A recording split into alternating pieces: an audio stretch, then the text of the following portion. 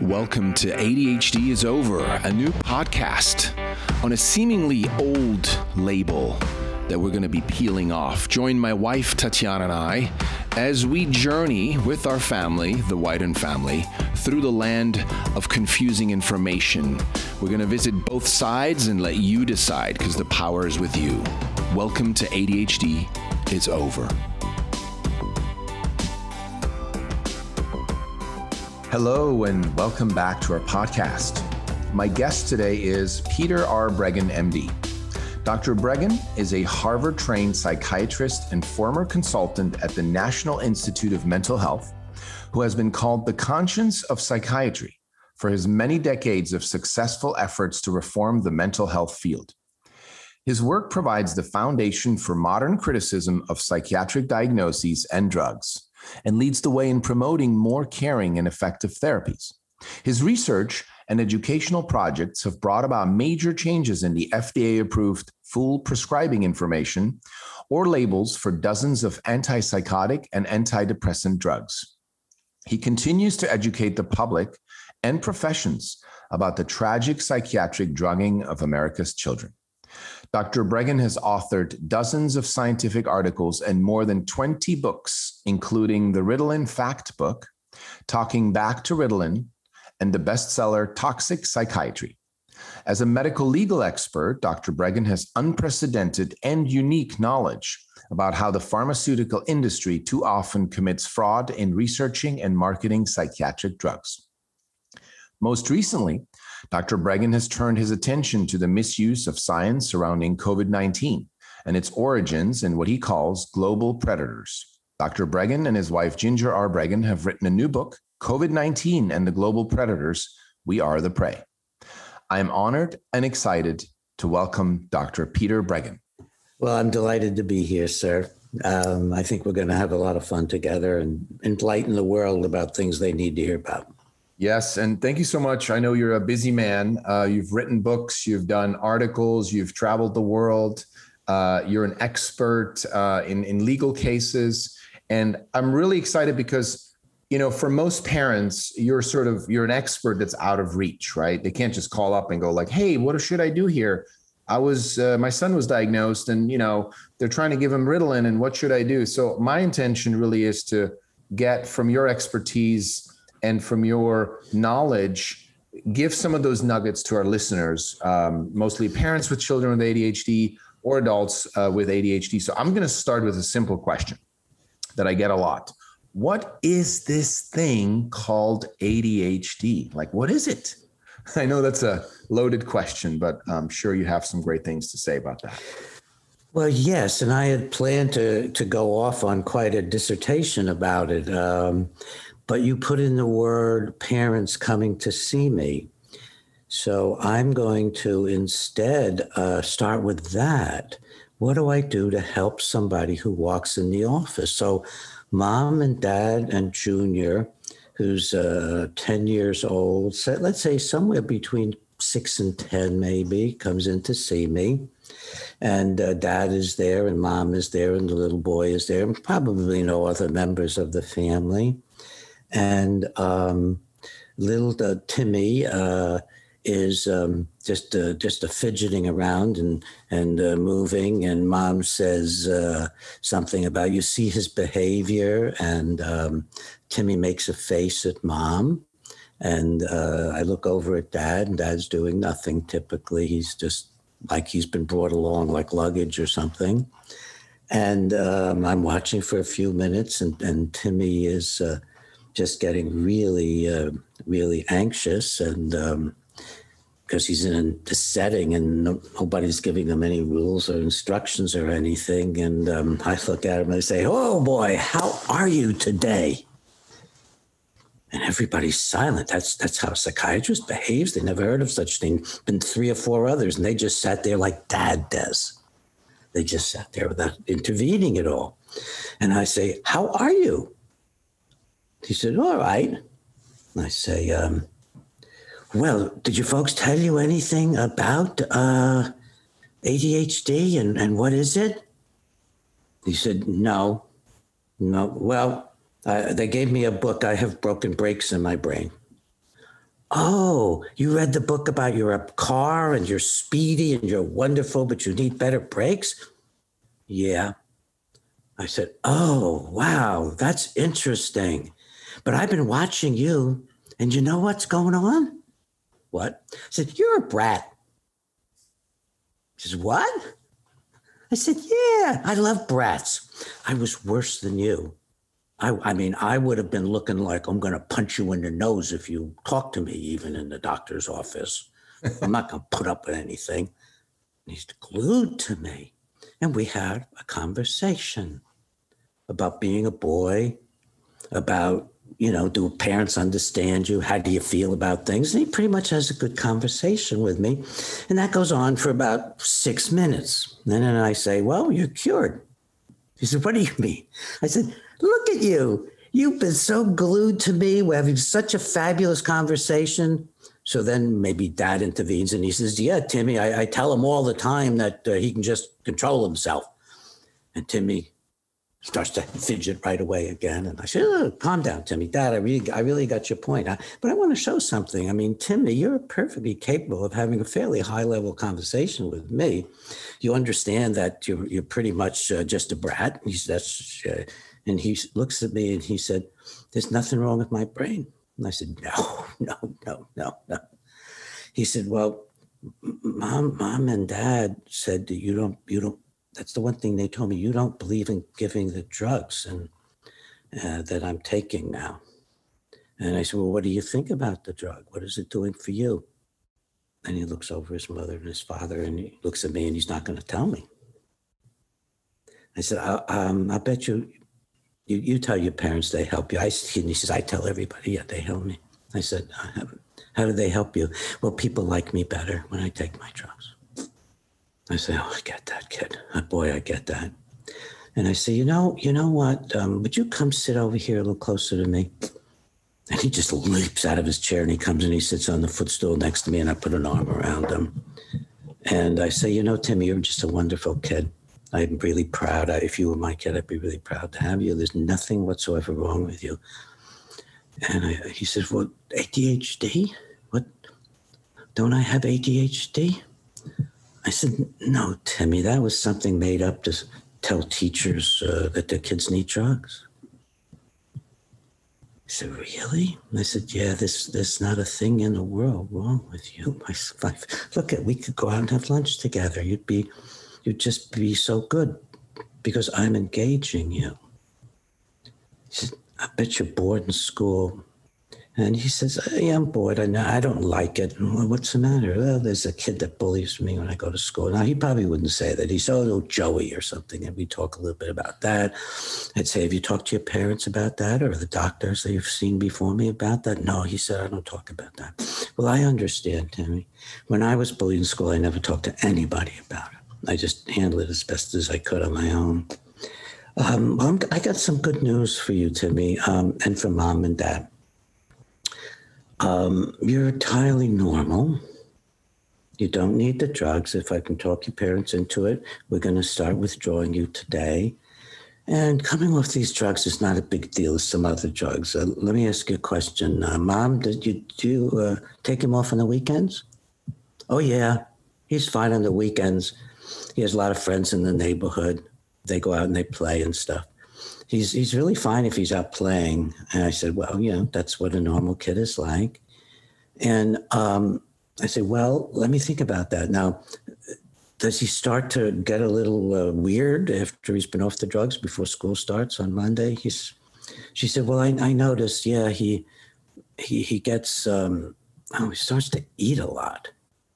On Sundays, I noticed that. Well, I said, that's withdrawal. The drug is suppressing his eating, and then he comes off, he gets hungrier, he starts to eat, and that's normal. He's filling up his body. That's not abnormal. That's all normal.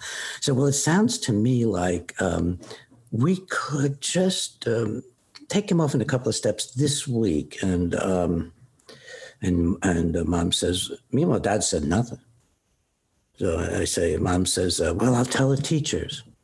And I said, well, mom, this is going to be hard for me to say. But um, I advise you don't tell the teachers because he may be a little jumpier coming off and they're going to figure it out and then they're going to just come down on Jimmy, maybe privately, or come down on you. See, the teachers are really confused about this. I said, in fact, if you if you pick up the diagnostic manual um, and you look at what is the diagnosis of uh, ADHD, it's just a list of things that uh, teachers have trouble with. That's how they marketed it. Every single one of the things, like um, here, often leave seat in situations. That's the first uh, that's the second one. The first is often fidgets or taps hands or feet, squirms in seat. Notice that in seat stuff. I mean, how many times are kids quote in seats? It's in school. So this is a marketing thing. They listed all these things. And then they gave a drug that subdues children. They could have actually done this with any, a whole bunch of drugs subdue people. So, but this was the easiest one that they could just uh, market. And uh, that's a little history behind it. But, um, you know, this drug, Jimmy, just, you know, he blurts out answers before question has been completed. I mean, this is obviously for school. Nobody seems to notice that. The whole setup was marketing it, making a fortune, convincing teachers that uh, that these kids fidget in class because they have a disease, rather than the class is too big the child's not up to reading level. The child's the youngest in the class. Oh, I'm the youngest in the class, Timmy says. I said, well, that's yeah, that, that's a lot of the kids are, Timmy, because, you know, eh, you know, you, you, you grow and you you learn how to, you know, not fidget in class. You, you, I'm not even sure it's a good thing. People stop fidgeting in class. Um, I, I, I trained myself not to fidget in class, Timmy. I trained my. I tell you something funny, Timmy. I trained myself in class to look like I was fascinated by what the teacher was saying. This was especially when I got older, like high school, and I began to realize what I was interested in and what I wasn't. So I could look as if I'm fascinated, and I would be doing all kinds of things in my head. I was editor of my newspaper, but I would have been diagnosed with something, and I'd be maybe working on an article or something else. I said, and then the funniest thing happened. I could do that in college a lot too. And then I went to medical school and I realized everything they were teaching me was important. And I couldn't do that anymore. And I had to, I had to really learn to pay attention. But it wasn't so hard because I'd always been paying attention to myself.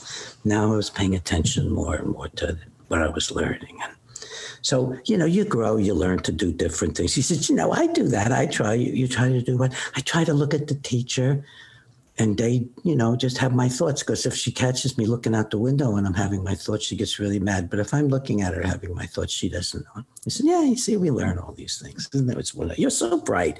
I look forward to just um, talking with you a lot. Except I don't think you need me to talk with you. Oh, I want to come back next time. Dad looks like, let's get out of here. Yeah. mom's looking like, oh, this would be wonderful. And I'm thinking, uh, all right, well, we haven't talked with your parents yet, Timmy, because you see, everything I'm telling you, I'm going to help your parents change. And you don't have any psychiatric problems, Timmy. I mean, or let's call them psychological problems. You're not sad and depressed. No. You're not terribly anxious. No you're certainly not what I would call one of these disturbed. Oh, yeah, we have disturbed kids in special class. And they, look weird. Says, no, you're none of those things. So, Timmy, you're going to get better and really do well because nothing wrong with you to start with. And we're going to talk about that some more today. We still have plenty of time. So let me get back now to, uh, and mom says, um, Oh, dad says, maybe, mom or dad says, well, we have this psychological testing of Timmy, and he has frontal lobe dysfunction. His executive functions are not good, and he's not, um, you know, he's he's unable to. Um, uh, oh God, I was going to say he can't focus, but I guess we're saying he can really focus, can he? Yeah, he can really focus. And I bet he's really good on his uh, computer, isn't he? Oh, yes. yeah, I can't pull him away from the thing. Oh, yeah. Okay. Well, you know, it, you know, life isn't such that you have a dysfunction in your brain that allows you to work great in computers and talk to interesting people like me, but you can't work in school. I mean, it doesn't that sound like maybe it's more the school than Timmy? I mean, really.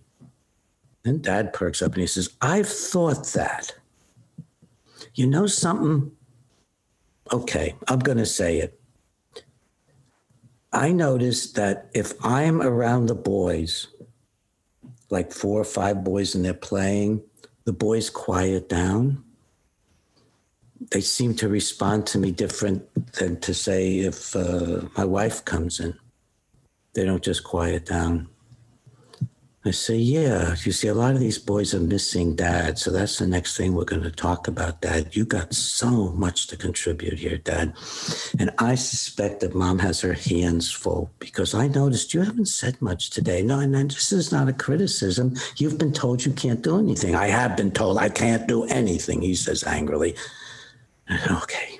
All right. Well, I get it. I'm angry too. I'm going to help you uh, with that. So let's just go look at that for a minute, Dad. And this, by the way, is how I'd run an interview. We're just talking about. We're going to one hour. They're going to know ninety percent of the important things. I get around to it, and I say, Dad, um, when was the last time you and Timmy went out? Um, well, I, uh, two weeks ago, um, I took him to the hardware store with me. I'm very busy, you know. I'm in the middle of my work and everything. I said, yeah. Uh, but he said, you know, Timmy really doesn't want to do anything with me. I asked him to go out with me. He doesn't want to go out with me. I say, Timmy, um, who, by the way, is sitting near me and is just stock still. I mean, this kid's nervous system is cured magically. He is stock still. and by the way, they, they say that in the uh, ADHD diagnostic thing. They say that um, don't don't be misled if he pays really good attention where he's getting a lot of interest, like in a doctor's office or one to one or in a in a very well controlled situation. Some of these boys do very well in those situations. It actually says that in the diagnostic manual. Really? Yeah, I haven't checked five for that, but uh, all up until then, it's always said that. And uh, it seems people seem to miss it. It's just two lines or so under related features. So, I mean, it's a ridiculous diagnosis. It's, it's nothing. It's just a way of selling drugs. I, I mean, I hate to say that, but it's the fact. It is a way of selling drugs. They marketed it to the teachers, then the parent groups. They paid parent groups uh, like CHADD and uh, and other groups to market it to the uh, to the to the parents and stuff.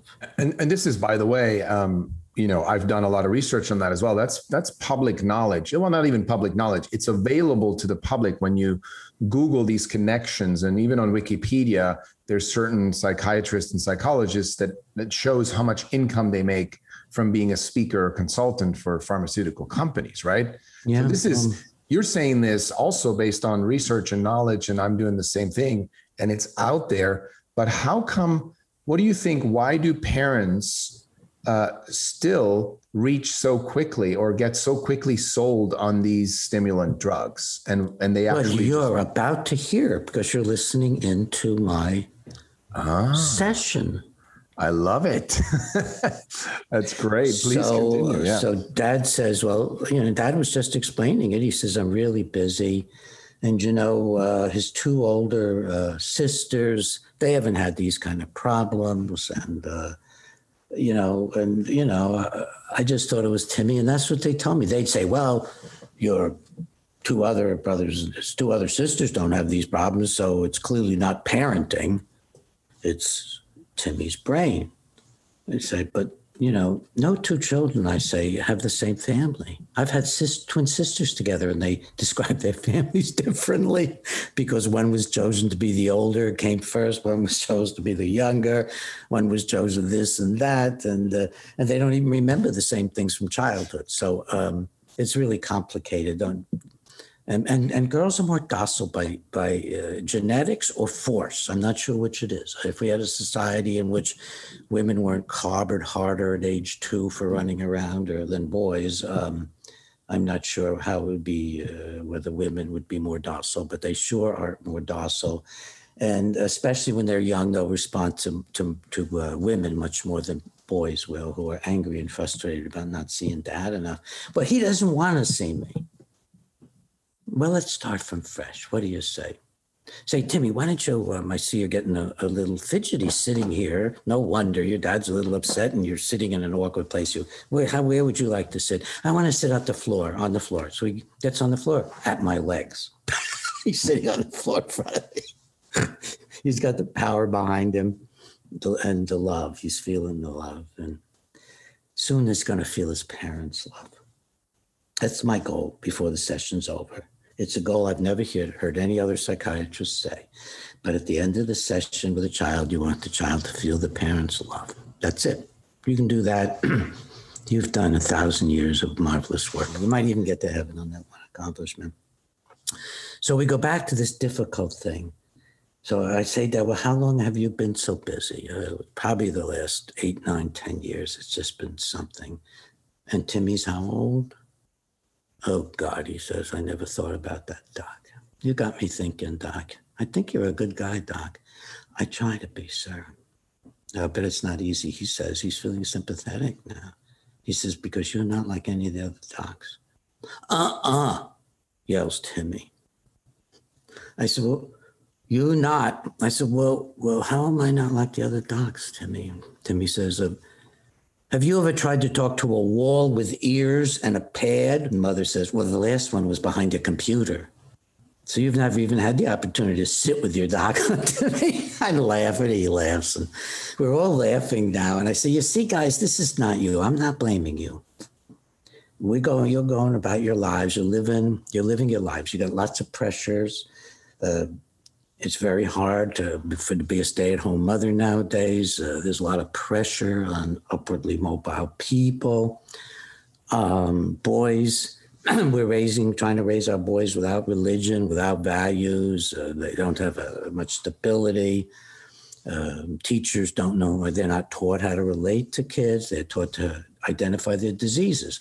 They're taught to look around a room and say, ADHD, I'll refer the child. They're not taught to look around the room and say, oh, kids look a little uneasy. I think I'll stand by him for half of my chat today with the class.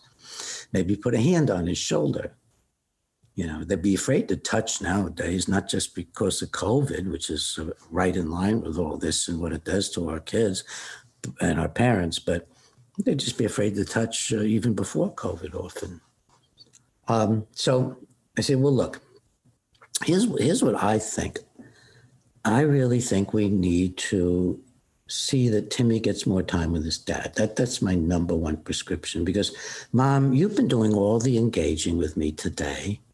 And, you know, it's really hard for a mother nowadays to be the disciplinarian of a child. She said, Oh God. You know, we've been trying to say that with my friends. We've been talking about it. We never got it really. We've been saying this, my friends. We've never quite gotten it before. Of course, we're all we're all like either partially working or working mothers and uh, or if we're home full time, we've got a, a, boy to deal with, and and I noticed that we're all we're all uh, gosh, my friend Jane. I can't wait to tell her about this. Do you have more room for another? I said, well, we'll talk about that later. That's his focus here. Um, but you know what? She is she's divorced and she's trying to force her husband. Her husband's a nice man. We, we knew them both together, and then they got separated. And she's going to court to try to force her husband to give her son drugs, and and she's got the she's got the child most of the time, and the father's saying, "I don't have any trouble with him. He's quite the, quite good around me." She, she, I never realized that it's impossible for a mother to raise a, a, boy on her own if the boy is full of gumption. It's really hard. I said, That's right. I said, I remember once um, talking to a young young boy and saying, Well, why do you listen to me immediately but not your mother? And he said, Well, your voice is so much darker. Men's voices are made to command. And I'm, I'm sorry if this can offend some people, but men's voices are made to command, and women's voices are made to calm us with love. Now it gets all confused, and there are many calm and loving men. I had to work on it so hard to be a calm and loving man. But there are plenty of women who just naturally are calming and loving. So their heads are spinning. I say, I'm talking too much now. So I want to get down to business. Timmy, would you like to spend more time with your father? Uh-huh. Oh, God, Timmy, he says, I'm sorry. And he cries. Stone faced dad is crying. I said, Dad, I I want to help with this. The single most important thing we can do for Timmy as a start is for you to to have him know that he is going to spend time with you every single weekend for a few hours, enough to tire you guys out and that the project will be based on Timmy's needs, not yours. So you won't be taking him to just a movie to watch, or you won't be taking him to the hardware store. we talked about that earlier. So that you'll be going to uh, the kids' museum, or you'll be going to uh, play ball, or go for a walk, uh, maybe take a friend of his with you. That's okay too, and do something together. As long as you're there and Timmy's enjoying it, and Timmy is learning from you that he's loved and he's disciplined, that he's a young boy who's being disciplined like his dad, who is disciplined down to his core. And dad, you might loosen up on some of your discipline. We'll get a little maybe you'll get a little wilder and Timmy you'll get a little more control because there's going to be benefits here for everybody. That's the first thing we're going to do. And then I want to figure out a way, as busy as you are, that Timmy knows every day of the week that there's a ritual with you. And that's going to be our start. And Timmy, I have instructions for you too. I have something for you to do. And Timmy is looking a little baffled. And I said, Well, Timmy, I understand that you've been told you have no control over this. He said, Oh, yeah. That's exactly what Dr. Jones told me. I said, That, that Timmy, um, I'd like to pop Dr. Jones right in the nose, frankly. And he laughs. I said, That's the worst thing you could tell a human being. That's how you destroy people. You tell them they have no control. It's ridiculous. You've got a lot. Look at you you've been the most controlled kid I've seen in a long time. You're really, you're actually, you know, a lot better off than some of the kids I see. They have other things on top of the uh, being diagnosed with ADHD. They've been abused. I don't think you've been hit at all. Silence in the room. Naturally, I look at dad. He shakes his head. Mom says, I slapped him a few weeks ago, and it was the second time in his life I ever slapped him. I was so frustrated. She's crying. I said, Jimmy, run over, give your mother a hug. She needs a little love. And he goes over and gives mom a hug. I think to myself, we're going to be successful today. We are going to be successful. We're going to hear, and I might even say, certainly in the last 10 years, I might say, thank you, God. We're going to be successful today. so by the time the session is over, and I think I'll draw the session to a close now. By the time the session is over, dad has a plan to be with his son every weekend.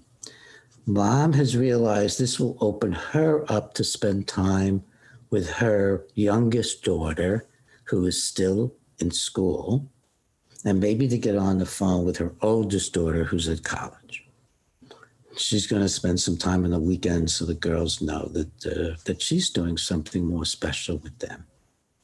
And there's going to be a ritual at night where uh, they work out. One of them's going to read to Timmy, or Timmy's going to read to them. Or, then there's going to be hugs and kisses. And I said, you just you got to have a ritual of hugs and kisses, or people feel terrible without that. I mean, that's that's what we need. That's our refill is our hugs and our kisses. So we're going to work on that. And I said, well, Timmy, and I, I want to come back to you because I started to talk to you and we realized that no one had ever asked you to take charge of yourself before. And I'll be just, I'll laugh like that. It's like so anxiety and crazy, these things that they're teaching with our children, these awful people. And um, I don't mean the parents, I mean the doctors and the psychologists and the teachers and people who should know better. And um, I say, Timmy, I want you, if your father looks like he is too busy on Saturday or something, I want you to get your courage up and say, Dad, I do want to do something with you. He looks like, Are you kidding? Say, I want you to look at your dad and we're going to make believe that dad looks really busy. Maybe he says, I have to mow the lawn today. Would you do some weeding? And you don't want to do that. They laugh. And uh, Timmy says, with more, more encouragement, Daddy, I want to spend time with you today. Son, I'm trying, going to try not to forget. But if I get into that stuff again where I think I have to be doing stuff like that all the time, I want you or mom to just, you know, tell me. Good. Well, we've got some good working stuff here. Now, I'm going to say something to you, both of you, that I only say in this particular situation. I've been watching that these issues seem to be mostly at home. Is that right? They're not so much at school, even though we've talked about school. They're mostly at home. Yes. I said, well, that's good news because uh, then you can fix it. I'll, I'll, I'll, be honest with you. If it turns out that there's some issues at school, then I'm going to say that's good news too, because then the teachers can fix it. We have to take we take responsibility for our children. These evil people who sell evil drugs that stunt our children's growth and do a lot of horrible things to them. I'm not even going to go over it with you because you're coming off, I presume, and everybody's in agreement. So I'm not even going to tell you. So just forget it. He's going to recover. And um, we're just going to go ahead. And if there's problems at home, we fix them at home. If there's problems at school, we fix them at school. Some, some, you know, some kids get cured by ADHD when they get a male teacher. So others are, are cured of ADHD when they go to a different school. I know a school I've been working with where they don't have ADHD because they pay attention to all the kids.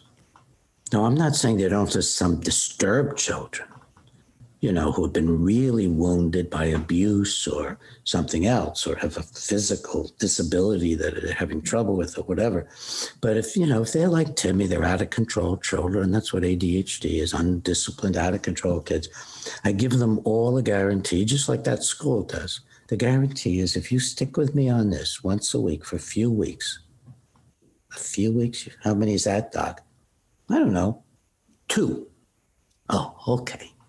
Stick with me for two weeks, and you're going to see a total change in Timmy because you're going to teach him loving discipline. You're going to calm him down. I, I thought you'd be going to say like a, a year or something. No, there are some things that adults come to see me for for a year or two but we're we're we're looking at uh, at the people right here in the room who fixed Timmy, not me. They fixed Timmy by fixing themselves. And Timmy, I still haven't gotten to do talk to you about what you're going to do. So, um, no, no, no, no, no. You're going to be able to. You're going to be able to do this. Now, you might want to continue with me if you want to have a more loving marriage and because i think there's a little i can tell that there's a little difficulty in communication with you all and we can do that but if you you change these things timmy is going to do better if you adhere to them and you may want refills on adhering and might want to read a couple of my books right about the i talk about this stuff but no uh, you're going to change and the kids are going to be better. And very often I have families where the kids are better and the parents continue to come to me for several months to unravel all the issues they got from their own childhood and their own difficulties. So now, Timmy, finally, it doesn't matter whether your parents change or not. You have a job in life. Your job is to take care of Timmy so that you can grow up to be a strong and loving man. That's your job. Do you believe in God, Timmy? yeah. Well, that's what God wants us to do. That's what we're here on earth to do. We're here on earth to be strong, loving people, to respect each other and go about our lives. So you got to do that anyway. You got to remember my words. Can I come back again? Oh, I definitely want to see you next week, but uh, you may not need to. Mm, you know what, Timmy? You as you get older, you can always just give me a call or something. But we'll wait and see about that. I love you. You're a wonderful kid. So you've got to decide for yourself that even if mom and dad don't get it quite right, I have to learn to discipline myself be under good control so I can have a good life. Do you understand me, Timmy? Like I make a good life. Yeah. You make a good life. That's that's our jobs here. We have to make a good life, and we all decide in different ways. What is that?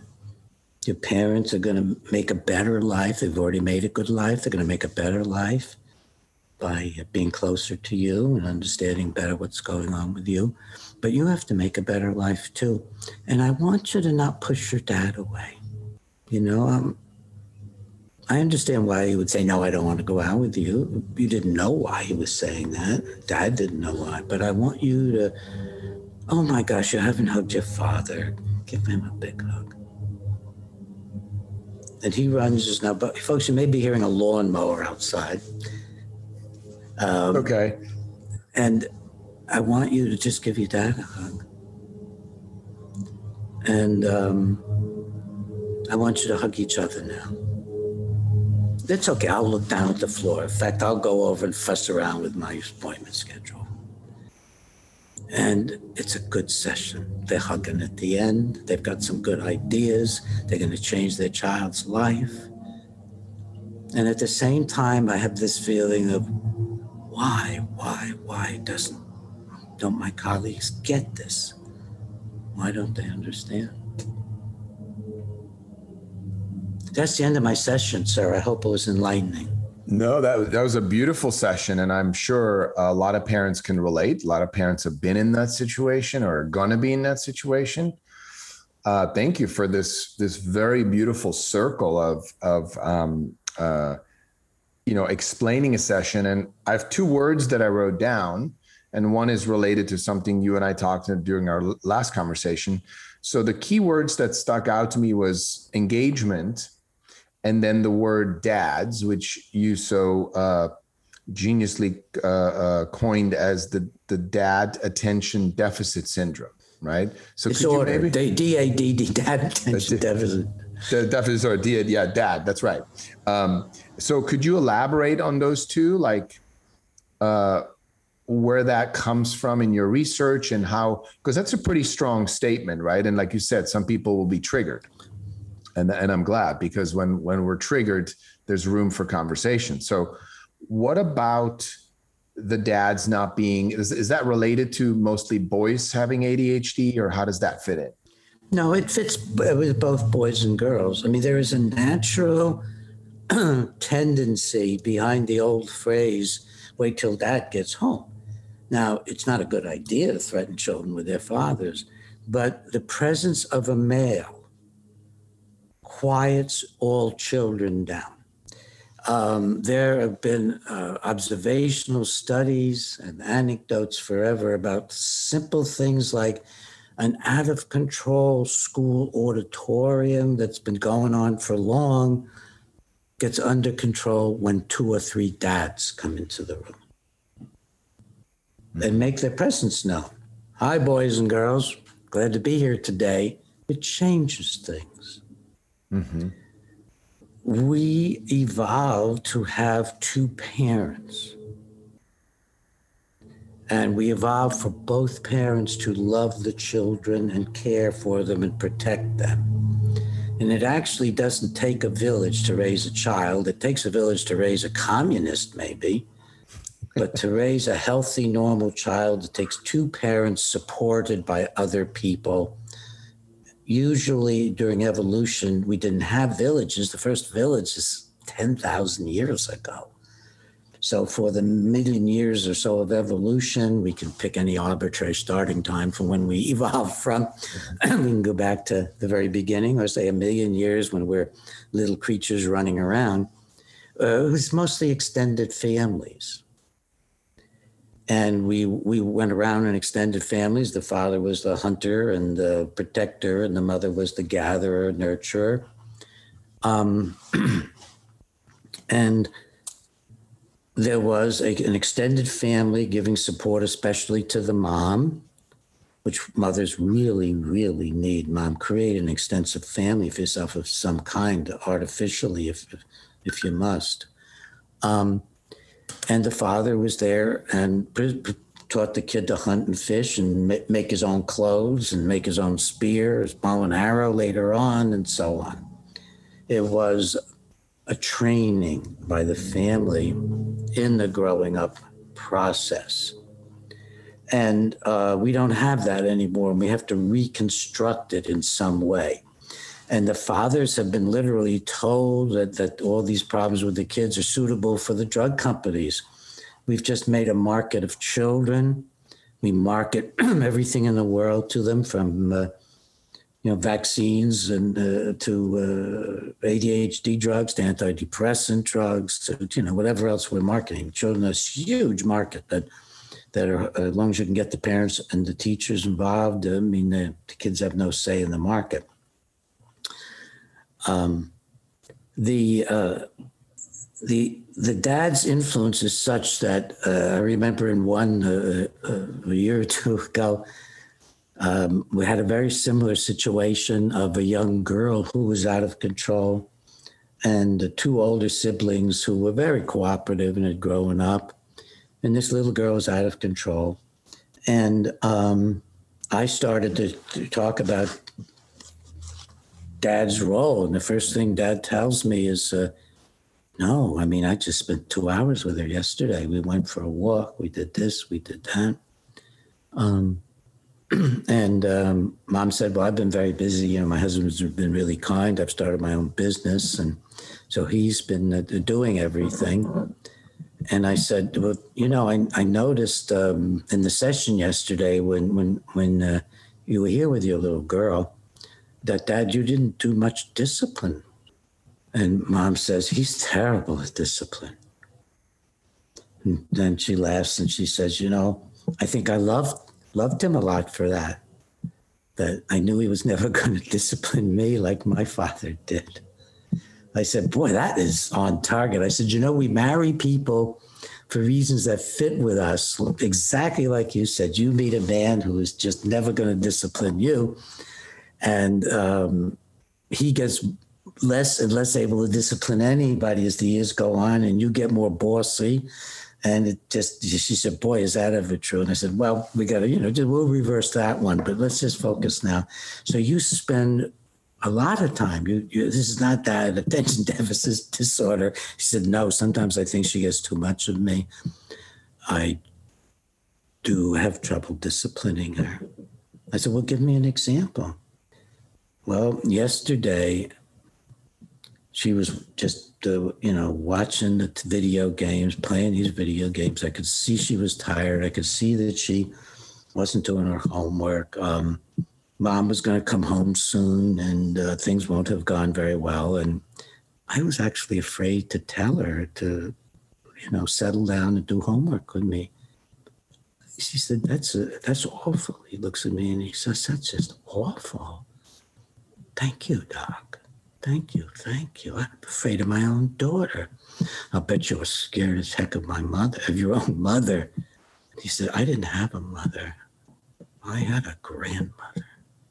And I was scared to death of her. Doc. I lost my mother when I was five. Let me talk about that for a little bit. Hmm. We may do some of what I would call, you know, analytic kinds of insight oriented therapy like that. It's not, it's not psychoanalytic. The psychoanalysts were a mad cult of their own. Um, it, it's just common sense looking at family life. Um, and he decides, he makes up his mind. He said, Well, you know, for God's sakes, I, I don't need to be afraid of my own daughter. I said, No. And, you know, if you want to come and have a separate session, we could talk about dealing with you, what it was like losing your mother, dealing with your grandmother. But um, he says, I don't think I need that, Doc. I know just what I need to do. I need to man up with my own daughter. What an embarrassing thing to realize. Said, Well, that is great news. That is great news. I tell you what, you're going to uh, fix this situation probably in, in a week or two because your daughter's going to see it right away. In fact, tell your daughter, go home, tell your daughter, I've just learned something, Jenny. I've been scared of you. I'll bet you know it yourself. And she looks like I've been caught or something. She's not going to tell him. He says, Well, I think so. I think I've been scared of you. No more, dear. That is terrible. From now on, when I give you a recommendation, I don't want you smirking at me like you just did. I don't want you giving me a hard time, honey. I don't want you, I don't want you doing anything but saying, okay, dad, or, well, dad, can we talk about it for a minute? You know, either one of those. Okay, dad, or can we talk about it?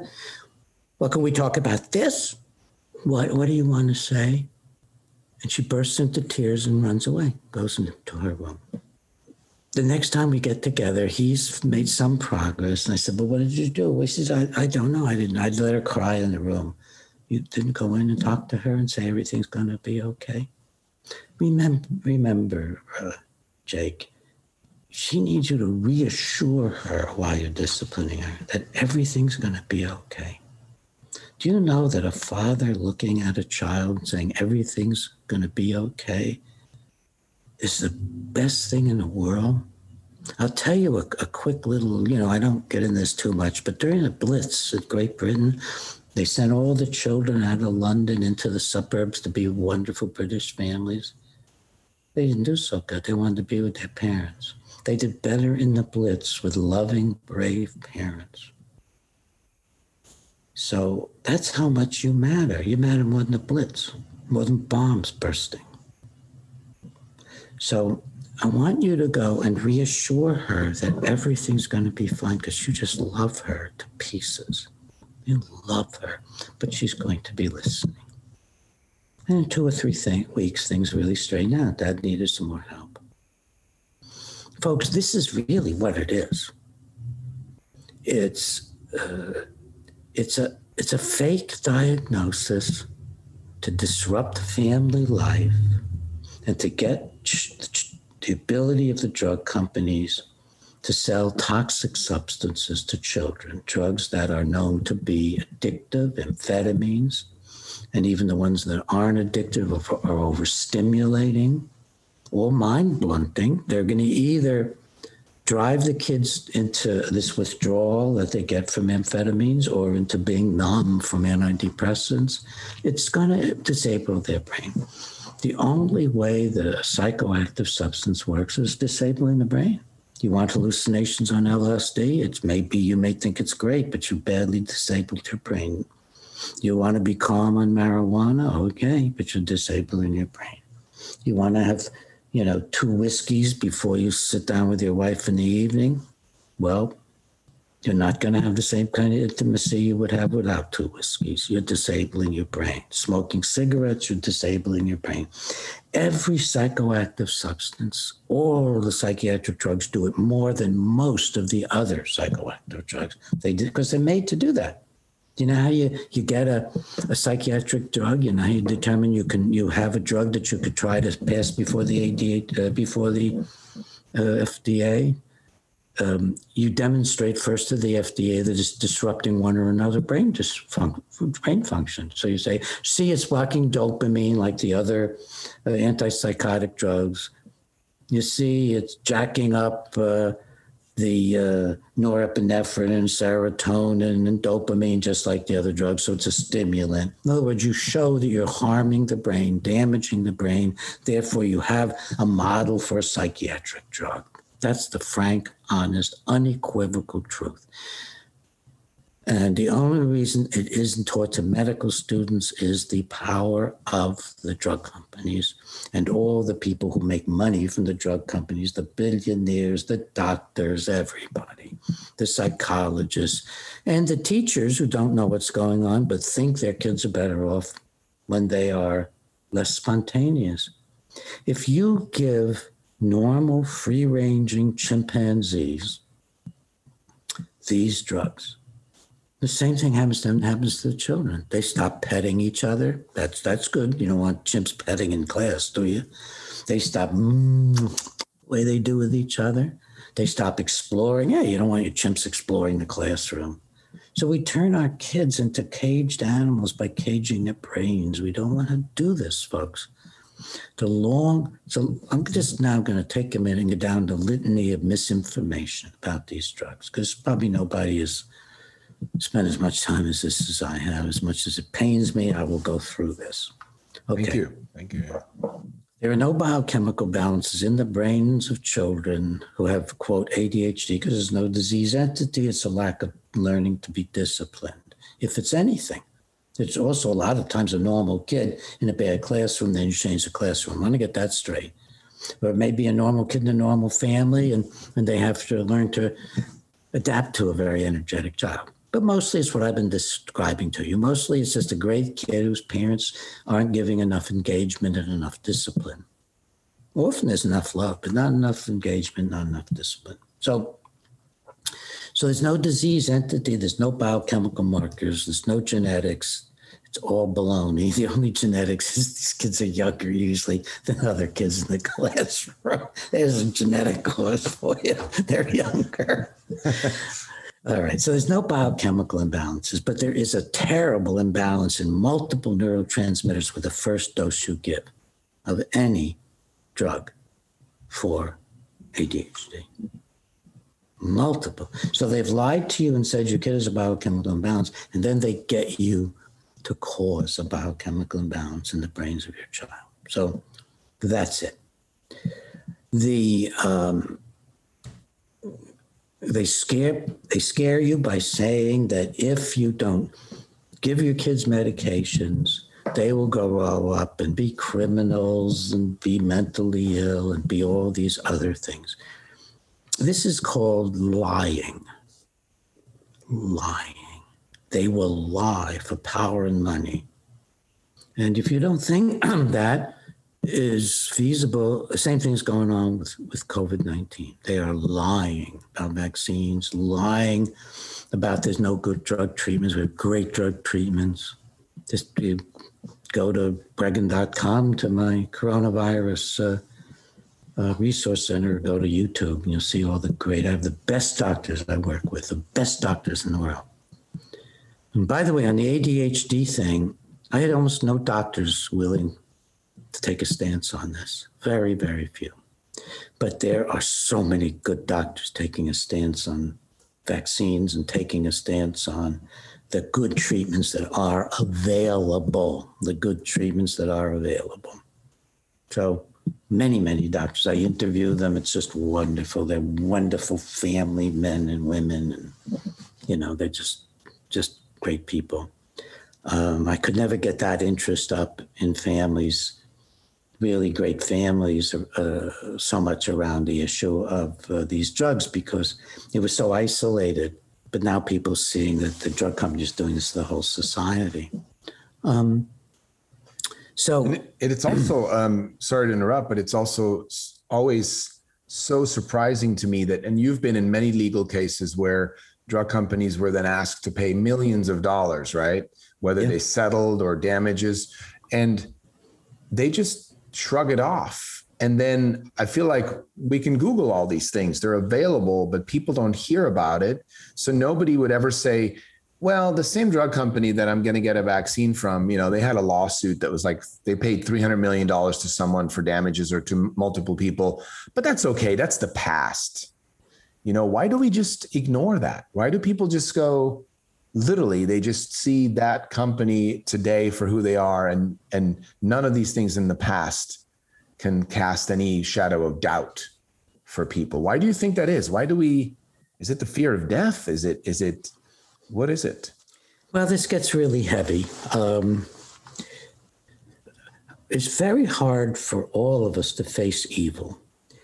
And it is also very hard for people to realize what I'm about to say, and yet it's so clear from history, which is until the advent of the founding of America, people always lived in slavery to the elite. They always lived in slavery to the powerful people. Now, that is not our nature, though, because all that begins only probably five, 6,000 years ago it begins um, no earlier than 10,000 years ago, and then only spottily when we had villages, and maybe then somebody could take over the village. Because when we were um, a group of nomads wandering around looking for food, escaping danger, for hundreds of thousands of years as sentient human beings. Um, we took care of ourselves. So the worst tyranny you could have would be that uh, uh, some bunch of young men in the group, or maybe an old man or two, decided he was going to run the family. That's a little hard to do when everybody in the family hunts for their own food gathers for themselves. They share somewhat, but it always starts with the individual, makes their own clothing. How are you going to bully people like that endlessly? How are you going to pre- prevent somebody just from coming up behind you and knocking you on the back of the head with a rock? So we didn't have totalitarianism. That is not how we lived. And, and it's a lie that we had communism. No, we had extended families, which is the rock bottom of liberty. We had extended families with free, responsible individuals cooperating together, hunting mastiffs and mastodons together, hunting and gathering together, but as free individuals agreeing on this as family members. And uh, you know, assume being first responders all the time. You know, I never thought that everybody's a first responder. Um, so for the but once once we went into villages, and then into civilizations, it's a history of human beings being enslaved. And I remember going to Europe and sitting and listening to lectures at, you know, at the Tower of London or wherever else in front of some palace. And it would be a history of human beings abusing massively other human beings for religious reasons, supposedly for nationalist reasons or whatever, but oh, always just because human beings get power and they bully and take over and they abuse people. So, one of the things that helps me a lot, and I've never heard anybody other than me talk about in quite this way, is that our history for 10,000 years has been subservience against our basic nature. And there've always been people who lust for power. Maybe those people were very useful during evolution because they would come through at a time of starvation or when one group of people was assaulting another group of people, um, or when we were meeting a, another group of humans that was uh, different enough from us that we thought we had to defend ourselves from them by attacking them or whatever weird thing we were trying to manage. But so maybe there was use to the really great, powerful person who could uh, really intimidate and fight and stuff like that. But uh, those people never got some sort of total totalitarian power. There's no way to do it. You don't see it in indigenous societies Native American societies are not run by a violent chief. They're run by a core discussion. Sometimes the women are in charge of the war councils, like it happened with the Iroquois Nation. God, I'm putting stuff together the way I haven't before. Um, folks are hearing the beginning of what's going to be a very small book someday. So we human beings have been used to abuse and control forever of kings, czars, whatever else, forever. But the forever is very short. Then along comes the founding of America, and what do they say? We don't owe allegiance to anyone but God. That's what it says in the Declaration of Independence, which people aptly describe as the preamble to the Constitution that uh, by God or God, nature's God, uh, which was kind of saying, you know, if the scientists come into nature's God, nature, moral morality coming out of nature, God and nature, um, that we have human rights. And the rights to life, liberty, and the pursuit of happiness. And in fact, it would have been life, liberty, pursuit of happiness, and property. But there was such a confusion about what property meant in terms of slavery, because the slaves were being claimed as property that they decided, decided not to face the slavery issue, because that was the, the one thing they, this huge uh, evil compromise they made. Uh, to have a nation. They, they had to have the South. South would have joined with Great Britain against them. I mean, it was just an awful situation, awful situation. They compromised. They don't even mention the right to property for fear that the, that it encouraged slavery, but they don't want to, to have, you know, it's just very, it's a mess. So, but it's really life, liberty, pursuit of happiness, and property, because that's what appears in other other discussions. And this was unique. The government was formed not to control you and exploit you and be a predator against you, but to protect you and to encourage commerce between the states and things like that. It was it was for the people, by the people, of the people, Lincoln's later words. So that's new. What's new, folks, is the liberty we're now losing. The liberty we're now losing is almost ho hum, and you're seeing people go ho hum because human beings have been docile before gigantic authority forever. And, you know, I'm, I'm going to be fighting. I am fighting back, and you know, we're not going to get a lot into that today, but it's a very similar issue. In, in, a way, the first people they went after were our children, the people they really went after to, in some ways, uh, experiment on, but also just to control and use and make a market out of were our kids. I mean, they did it to us in different ways, but the kids were the overwhelming market.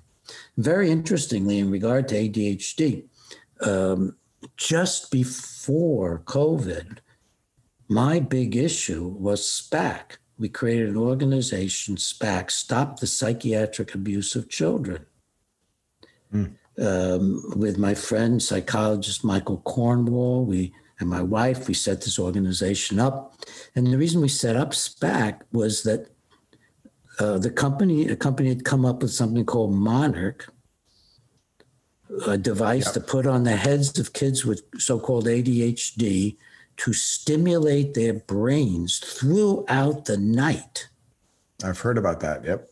And um, to stimulate their brains by sending low level electrical impulses into the skin of the head and back up nerve connections, trigeminal nerve connections, and probably other nerve connections backwards up the nerves, because most of the nerves are coming down to to to do what? To muck up your brain overnight. To give your brain overnight instead of electrical impulses, hammer blows, bing, bing, bing, bing, coming up your nervous system. At first, I thought they were probably going through the skull, and we got involved with some engineers and other people. We looked carefully at this, evaluated it. You'll find SPAC on the website, S P A C K, Breggin.com. But um, but no, it turns out this really is low level. And that doesn't mean it's good. It means it's horrible because the brain, instead of resting and recuperating, is being given a low level counter stimulation to everything it's ever experienced in its entire life. Well, we we got some we got some coverage on this. We worked on it, and I've heard almost nothing about Monarch. And if anybody has, uh, has heard about kids being put on Monarch and stuff, um, you know, get in touch with me. Um, you'll you'll find how to get in touch with me on the website. Mm-hmm. Um, but um, either it's gone so secret that nobody knows, or maybe with Monarch, they found, well, we are really going to run up against stuff that's going to be congressional hearings and so on, because we were really tooling up. But that's how bad they are, folks. It's a very good example of um, of how bad they are. Now, I want to I want to end. Maybe it won't be the end, but I want to end with something I left out. Please, yeah.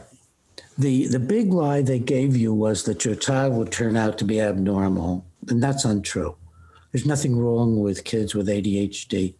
Um, actually, most of the media people I talk to tell me that they were jumpy and undisciplined. And so the media, these people are having a wonderful time in the media, in the arts, and literature.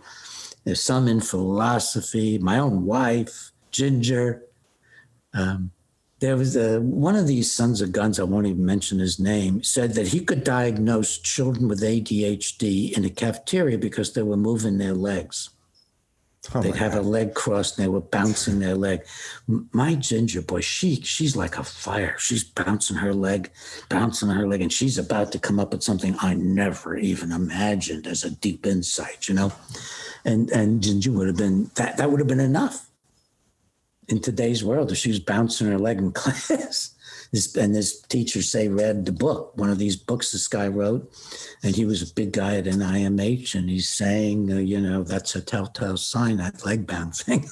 so some of the best, we're, we're actually flattening by drugging these kids, some of the best and the brightest. I wanted to say that these are not the worst kids, best and brightest.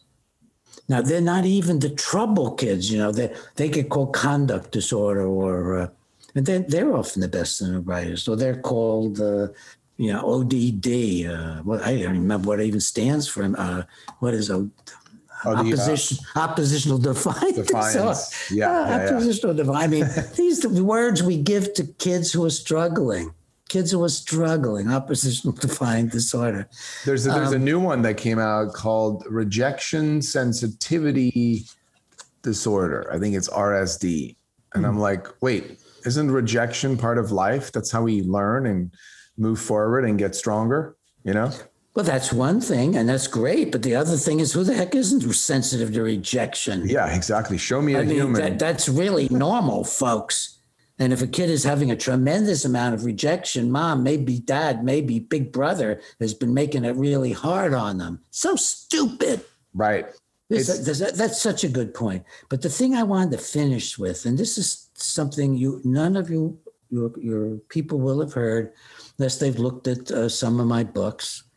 And that is there've been a lot of follow-up studies by the people who gave very low doses of stimulants usually methylphenidate good old ritalin in the 70s to relatively normal children who did not have any serious problems and the outcomes of these children that they traced are a disaster compared to the other kids who were, you know, equally normal, may have had those some of the same things compared to any kind of normal cohort. These people did horribly. Now, the none of them was on stimulants. Stimulants were and the diagnosis of ADHD were a pathway to being a mental patient for the rest of your life. So these people had obesity very high. Why? They were some many of them were on antipsychotic drugs. Now, none of these ADHD kids are going to be psychotic when they grow up. None of them. none of them. And yet they were becoming psychotic and getting these drugs. Others were becoming depressed and getting antidepressants. They had higher rates of criminality, higher rates of mental hospitalization, and so on. So, why was this? This was from a combination of events. First, if you teach a child they can't control themselves, and they grow to believe it when they deal with the difficult things in life, you've ruined them. Because what we need above all things to handle life is the knowledge that we are in control of our own minds, hearts, and spirits. We are. And that's how people get through it tough. That's how women get through childbirth. That's how men get through hearing their wives scream in childbirth. That's how boys grow up on a playground.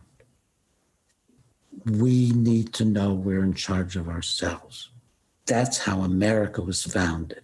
It was founded by a group of people who knew that the men in, who signed the, the Declaration of Independence knew it was a hit list to hang every last one of them if they were caught. And their wives knew it. And Abigail Adams didn't say, Don't do that, honey. John, John, you're going to be first on the king's list to be hung if they catch you. Hmm. And he was. King really hated John Adams. That's not what happened. Not a single member who of a family of the men who signed the Declaration of Independence became a turntail. Not one. We don't talk about. These people knew that what mattered was their relationship to truth, to God, to freedom. They believed in their own abilities, and their families had the same strength, at least their wives. They had that same strength. So we rob our kids of everything they need by telling them they have a disease of the brain, a biochemical imbalance, a genetic disorder, or just simply they have ADHD. We rob them. So naturally, many more of them are going to become helpless mental patients. Then also, very often these kids are put on other drugs for the symptoms they get from the ADHD. They can't sleep at night. It's a stimulant. So they get put on a sedative they may even get eventually put on Seroquel and told it's a sedative and it's an antipsychotic drug. So they get put on one or another drug. The flattening effect, destruction of spontaneity, leaves some of the kids obviously looking depressed when they're just being crushed by the drug. So they get on antidepressants. So, by every measure possible of quality of life, that group of people in the 70s who were put on these drugs ended up in jail, in mental hospitals, on drugs, overweight, sick, more doctor visits than the control population, and didn't even need a control population. They were doing so poorly. That's what happens. And they didn't even look at, because they didn't want to, the other issues of addiction, because these are addictive drugs. So we have other studies to show that if you take these stimulant drugs, as a youngster, you're more likely to become a cocaine abuser when you're in your 20s. Very specific controlled studies to show this from kids who are in clinics for ADHD, and some got drugs and some didn't. And so there was also that, that famous study by Nadine Lambert. That that's the Lambert published. study. Yeah. No, no, some of them did. That's Nadine Lambert's study. And so I heard though that the main study never got published before she died in a car. No, no, she was hit by a truck. Right. Right. On her campus. Yep. So um, I am not aware. I'm sure she had other studies coming, but Nadine has at least two or three studies. One in a book that I did, and um, you'll be able to find those. I'll tell you, my most recent book, folks. Just you want to know what's my most recent book on? Yeah, let's talk about your most recent book. Yeah. I mean, I'm just going to mention it. It's called psychiatric drug withdrawal. Mm-hmm. And it talks about how to get your child off all drugs and adults off all drugs. But it also contains my newest summaries of all this stuff. So you're going to see, you just look in the index from the, the Lambert. Okay. And you're going to find uh, some of her studies will be cited. So that that's probably and it's it's a book for really uh, for people who don't necessarily love to read. It's a very documented scientific book, but then you can go back also to my earlier books on on this subject, which are meant for uh, well, this uh, I'll tell you, the psychiatric drug withdrawal. The subtitle is for. Um, um, prescribers, therapists, patients, and their families. So it's for everybody. But my but it was published by a medical publisher. From my books from a popular publisher, which means that they're a bit more interesting. Compared here, one of them is talking back to Ritalin, and the other another is uh, the Ritalin Fact Book. Mm-hmm. And um, you'll find these on Amazon. You'll find these on my website. Talking Back to Ritalin has a wonderful series of chapters on developing your moral authority. So, one of the most striking things I notice about all the families who have undisciplined kids is they don't really believe they're supposed to teach their kids moral authority, let alone impose it on them. They don't, they believe it's wrong. They, they think that that it'll interfere with the kids' growth and development. And often there are parents who were abused, or parents who were over disciplined, or parents who were, you know, not loved well, or whatever. And they've promised themselves they won't do that to their own children. They're good people, And so they have a terrible time imposing moral authority. Kids need to know you're the moral authority. They don't feel safe. It's no different than a puppy.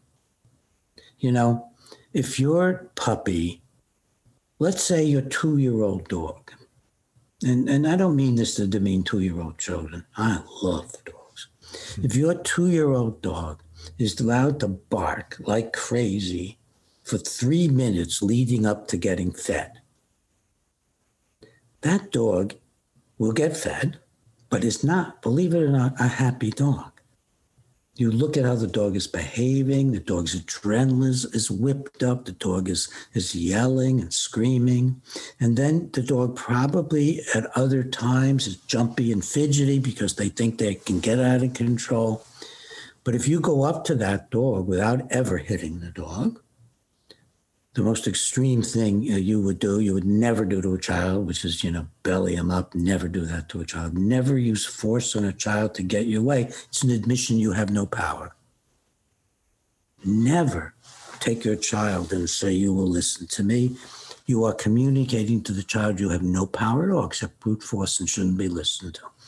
Always go to your child with love, determination, a sense of your moral authority. And so one of the things I, I do, by the way, your dog will be happier when you impose moral authority on your dog. Be calmer, be more loving, be more peaceful. Somebody's in charge other than them. Little dogs and children are not happy when they think they're in charge. It's too much of a burden, too confusing. They don't have developed enough brains yet, literally. So be a kind, loving, moral authority. Do not use force. If you have to use force on your child, you've gone so out of control. How are they going to learn to be in control? right, right. So work on it. And parents say, it won't work. I don't even know what moral authority is. I've never had that sense. I don't have any authority over my child.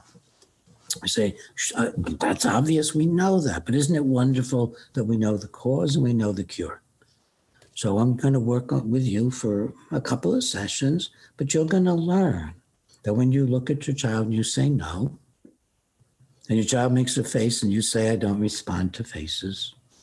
But no, honey, come back when you're ready to talk to me about what we're going to be doing today. And you limit that to really important things. In fact, this is a good point. Start out with imposing your moral authority over one thing only respectful behavior. Don't even worry about chores. Don't even worry about homework. If you develop a relationship of respect for your child, everything else will fall into place. So, in a very loving way, when uh, little Joey said, Now, you say, Well, Joey, I'm, I will not even talk with you when you are being disrespectful to me.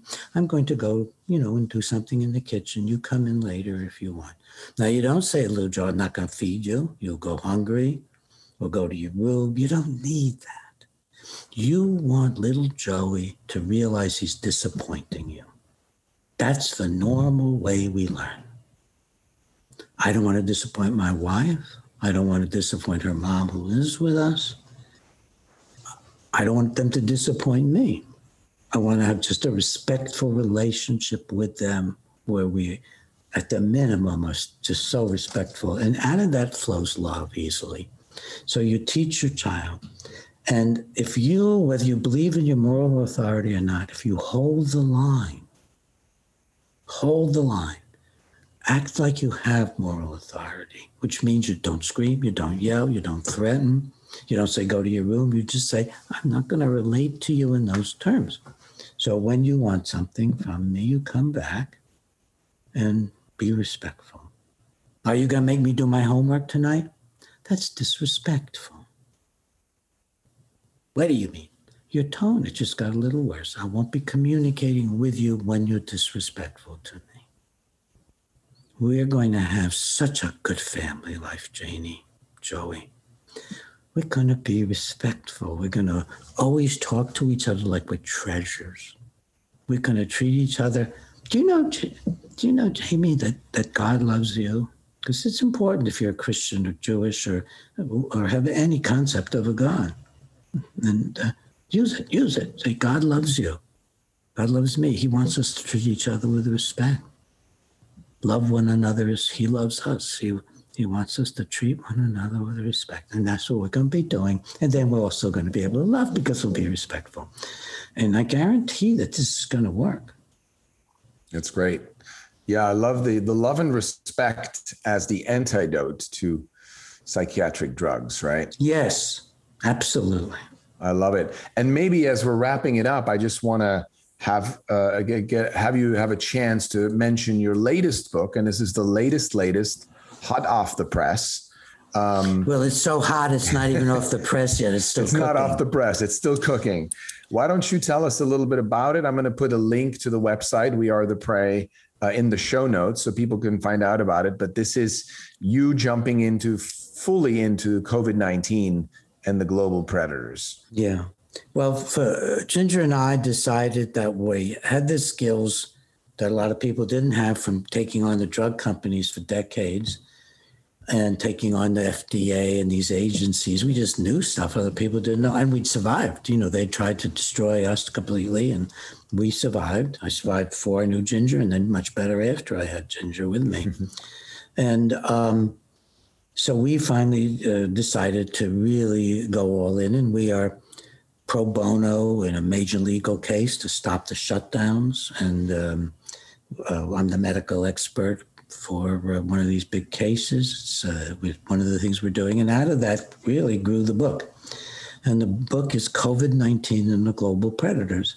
And I won't even get into it very much. Uh, it's an expansion of everything I've talked about today because these global predators are the exact same ones who chose to make a market of our children and to lie and use force and threats and intimidate doctors and intimidate uh, parents, make them afraid to, to not put their kid on drugs. It's all the same as in COVID 19 fear, fear, fear, fear. And um, we talk about that in the book. We talk about who the people are. We talk about all the scientific facts. And the beauty of uh, one of the things about COVID 19 and the global predators that I am so proud of, and Ginger is so proud of, we co edit the book, is it has three introductions, short, powerful introductions by the top physicians, my fellow MDs. I never had that taken on psychiatry. It's interesting. Top MDs writing beautiful, powerful introductions. Uh, one of them is uh, Peter McCullough, who is a, a cardiologist and a huge scientist who decided to take on COVID 19 and has done all the wonderful work on how to get real good help for. And the book tells you where to get the help for this. Uh, for, for if you do really get COVID 19. And another is um, another physician, a family doctor um, Zelenko, um, Zev Zelenko, Vladimir Zev Zelenko. I love both these men. I just love them. And uh, and he's written one, and, and Zev uh, risked his whole life and career to tell the world there's a way to treat COVID 19. You don't have to wait for the vaccines, just go ahead. We got drugs. And uh, then uh, Elizabeth Lee Vliet, V L I E T, another MD, who is a great COVID 19 doctor. And uh, together they, uh, uh, their work has led to, and uh, Peter uh, uh, McCullough and um, Dr. They both are actually authors of the Blue Book that I'll tell people how to get it so that they can get to the treatment right away. And um, you can get that by going going to the website of the Association of American Physicians and Surgeons, uh, which, if I recall correctly, you can get to more directly than Googling it by uh, going to aapsonline.org, aapsonline.org. Um, but the thing about the book, uh, if you go to the dedicated page or to my website, the dedicated page is um, wearetheprey.com. We thought a memorable phrase would be easier than breggin.com even wearetheprey.com. The remarkable thing about that is if you go there before the book is published, and by the time this film comes out, the book will probably be published. But if you go there before the, the book is published, amazing thing will happen. If you buy it, you will immediately get the manuscript in your email instantly. Nice. Nice. No, no author, as far as I know, in history has ever done this before. And frankly, it was just simply I thought to myself, I'm, I'm, I'm meeting God, and what's one of the questions He's going to ask me? And one of them is going to be, I don't get, Peter, why you waited so long to put out the information you had. I said, Well, I was talking about on the air, but why didn't you just make your book available to general public? And I thought, I can. It won't be the fi- finished book. It'll be full of errors and copy editing problems, but I don't have shame on these issues.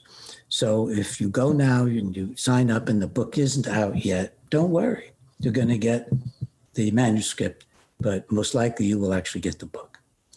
COVID 19 and the global predators, and the dedicated website is wearetheprey.com. I love it. I love it. Well, it's been an honor, and I certainly appreciate your time and, and all your insights, your beautiful narrative story around the treatment. I, I really I feel that parents are going to get a lot of value out of this, or anyone's going to get a lot of value out of this. Uh, so, Dr. Peter Breggin, it's been my pleasure to finally speak with you at great length. And uh, I and everyone that supports our movement uh, certainly supports your take on ADHD, uh, supporting your new book, COVID 19 and the Global Predators. We are the prey.com is the website. I'm going to put that in the, the show links. And please tell Ginger as well, your wife, the co-author of the book. Uh, thank you for making this happen. Yes, uh, I'm really excited to put this out, and we'll keep you posted when we do so. And um, wishing you all the best with this new book. Thank you so so much. Um, it's uh, it's just been wonderful to have you uh, revive in me the the original identity of Dr. Peter Breggin as the conscience of psychiatry. Bless you and good luck. Thank you.